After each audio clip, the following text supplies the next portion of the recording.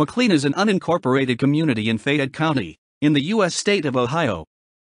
History The community has the name of James McLean, a landowner who allowed the railroad to build on his land in exchange for the naming rights. A post office called McLean was established in 1888 and remained in operation until 1928.